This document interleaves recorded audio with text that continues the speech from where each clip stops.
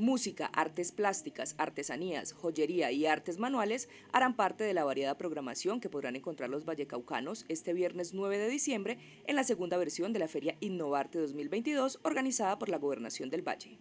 Este viernes 9 de diciembre desde la Gobernación del Valle del Cauca y su Secretaría de Cultura los invitamos a la segunda Feria Creativa Innovarte 2022. Serán 40 emprendimientos artesanales y artísticos de todo nuestro departamento en el cual se promoverá la reactivación, el fomento, la visibilidad del sector cultural de la región. Recuerda, te esperamos en la plazoleta San Francisco a las 9 de la mañana hasta las 6 de la tarde para que disfrutes, apoyes y nos acompañen a estos emprendimientos creativos de nuestro Valle Invencible.